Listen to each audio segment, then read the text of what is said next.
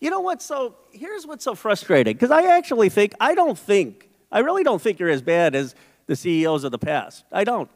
I, I, I think you, you have tough jobs, you got there, you got a horrible record on stuff, you're figuring out how you don't get into litigation trouble while really trying to tell the truth. It's a tough act. I mean, I don't envy you. And I don't believe you purposely want to be out there spreading climate disinformation. But you're funding these groups and they're really having an impact. You know, they're, they're, they're spending millions of dollars in Congress to kill electric vehicles, and they're spending millions of dollars against the, the, the, the, the methane gas. And you could do something here. You could tell them to knock it off for the sake of the planet.